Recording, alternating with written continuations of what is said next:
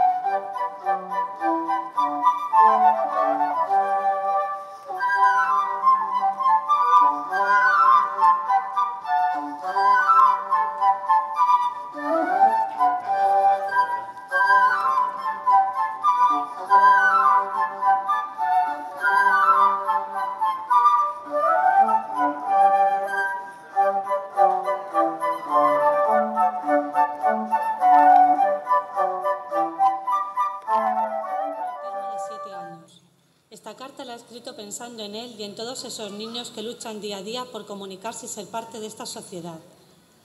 Carta de una madre a su hijo con autismo. Cuando naciste fue el día más hermoso de mi vida, ver tu carita y sentir tus manitas junto a las mías. Tu desarrollo fue normal hasta los 11 primeros meses, donde dejaste de hablar. Parecía que no escucharas, no me mirabas a la cara. ¿Dónde estaba mi niño? Después de varias visitas al médico y reconocimientos, conocimos la palabra autismo. ¿Y qué tratamiento hay? Eso preguntamos. Mucho trabajo y dedicación, nos dijeron. Lo que todavía no sabíamos era lo mucho que íbamos a aprender contigo durante todo este proceso, en amor, respeto, tolerancia, paciencia, compromiso y perseverancia. Eres un luchador. Nos dimos cuenta que eras muy visual, así que nos hicimos ilustradores de la vida para ti. Los sentidos los tienes tan agudizados, a la música y ruidos fuertes te acabaste adaptando. Eres un luchador. Las texturas de la comida fue otro reto que lograste superar.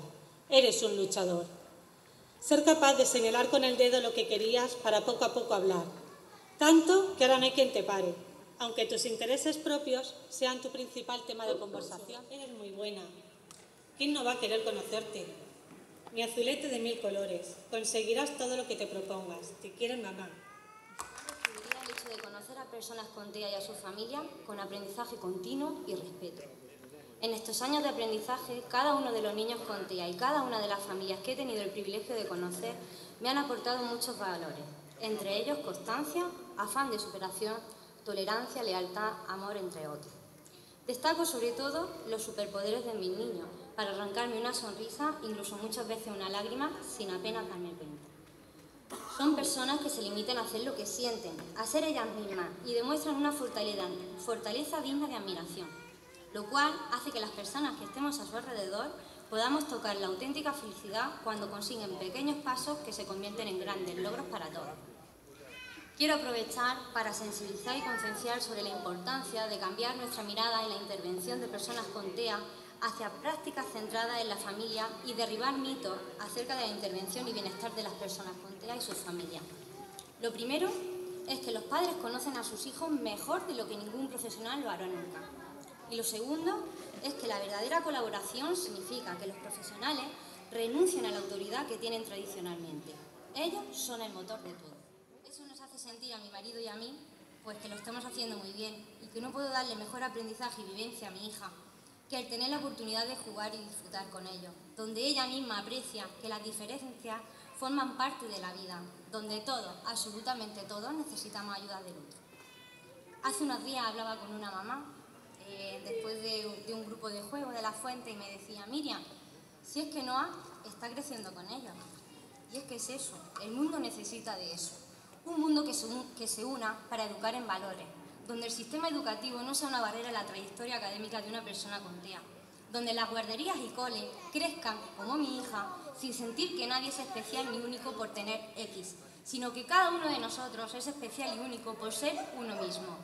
Hay que tener claro que la felicidad de una persona con autismo no es ser como los demás piensan, sino ser el mismo, contando con los demás. Se trate de tener el mismo derecho a ser iguales, sino a tener igual derecho a ser diferentes. Ojalá y pronto, en el 2 de abril, no tengamos que decir nada, sino que sea un día, un día donde se celebre el Día de la Neurodiversidad, poniendo valor a la riqueza que genera que todos los seres humanos seamos diversos. Azul y Honor somos piezas de un mismo puzzle. Muchísimas gracias. En el tono o en la entonación. Cuentan con pensamiento simbólico ilimitado, esto causa problemas para imaginar fantasías, ser espontáneo y organizar sus tiempos.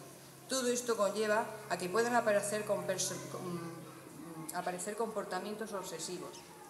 A veces poseen poca conexión con las demás personas y parecen estar dentro de su propio mundo, con poca tolerancia a la frustración.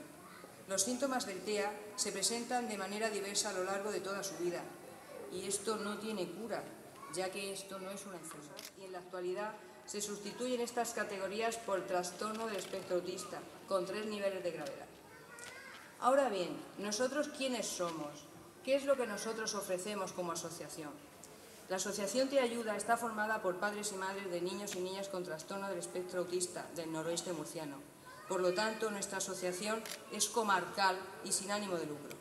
Solo familias forman la asociación, familias que ya tenemos nuestro trabajo y que invertimos parte del tiempo y del esfuerzo para que la asociación salga adelante, para que el autismo en niños se vea como algo que está ahí, que son únicos e irrepetibles, que son nuestros niños y nuestros adolescentes, que necesitan desarrollarse como cualquier otro niño y adolescente pero que tienen que ser visibles ante la sociedad y la Administración. Este es nuestro esfuerzo y esta es nuestra lucha. De esta lucha no hay compensación económica, ninguna. Hay compensación emocional y vernos dichosos cuando vemos que ellos salen adelante frente a viento y marea. Estar en una asociación como la nuestra te permite hablar y compartir las inquietudes y problemas del día a día con los demás. El solo hecho de expresar y comunicar tus angustias y tus miedos, tus logros y tus alegrías, te ayudan a seguir trabajando por tu familia. El saber que no estás solo y que entre todas las cosas pueden ir mejor. Los servicios que tenemos en la asociación son los siguientes. Tenemos talleres de habilidades sociales impartidos por terapeutas especialistas en autismo de la Asociación Astrade de Murcia. Existen dos grupos de talleres atendiendo a la edad de los niños y adolescentes, que van desde los 7 hasta los 19 años de edad. Servicio de atención a las familias, con asesoramiento en aspectos legales, tramitación de ayudas y otros aspectos administrativos. Escuela de Padres, que son charlas, ponencias y orientaciones para los padres y madres ofrecidas por especialistas de Astrade y por el equipo específico de autismo de la Consejería de Educación. Estas ponencias son gratuitas y abiertas para todas las personas interesadas. Quiere decir que las ponencias las financiamos nosotros desde la asociación y las hacemos públicas con el objetivo de informar a los distintos ámbitos de la sociedad y visibilizar. Son de gran ayuda, ya que tratan temas que nos afectan directamente. Hemos realizado dos ponencias y se seguirán realizando hasta el mes de junio. La siguiente es el, día 13 de abril, que